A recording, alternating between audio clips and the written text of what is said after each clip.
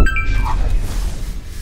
Hey what's up guys and welcome to another first impressions video on Xbox On where if you hadn't already heard Gears of War 4's map rotation is in full effect where every month for a year two new maps get added into the rotation to play while two others get removed from rotation to make sure that there's always 10 maps. Though if you have the season pass you can of course still go into custom games and play on the maps that have been removed out of the rotation if you wish to do so if it was your favorite map to play on Horde mode for example. The two new maps added into the rotation are Checkout and Drydock. Checkout is actually set in Cole Train's hometown of Hanover, where the map is set in an iconic supermarket which Cole, Baird, Sam, and Clayton Carmine salvaged through in Act 1 of Gears of War 3. Of course, a lot of you may recognize it as it was also a multiplayer map in the game. Though in Gears of War 4, the map is actually set 25 years after the events of Gears of War 3, so it's slowly started to become overgrown rather than what we saw in Gears of War 3, where the map is a little bit cleaner though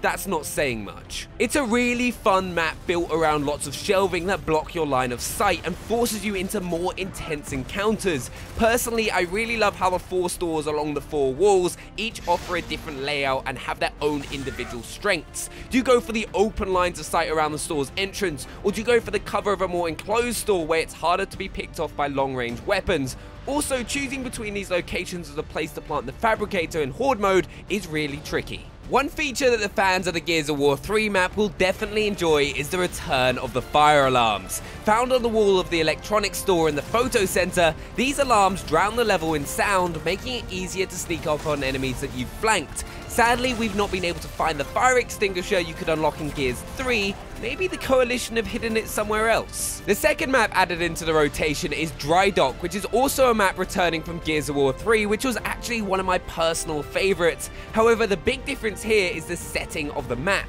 It has been moved from a cog ship building facility to a ship-breaking scrapyard on a Seran mudflat, what I love about this version of the map is the attention to detail. The Coalition have crammed into every single part. The rusting metal is marked with instructions for removal, and if you move to the swarm spawning point, you'll find this fishing shack complete with a menu of unpleasant sounding purchases. Of course, what's really important is that it remains a brilliantly tactical map.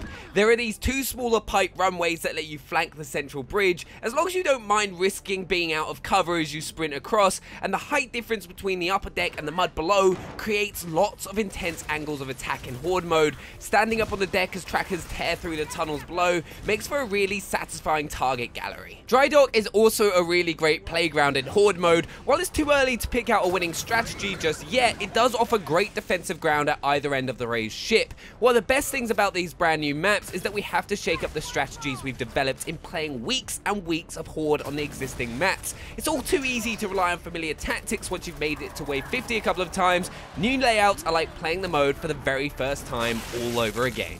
So there we have it, our very first impressions on the brand new Gears of War 4 maps. Make sure to let us know what you think in the comments below. Drop a thumbs up, and if you haven't already, hit that subscribe button so you don't miss out on any more content, and we'll see you guys next time. Bye.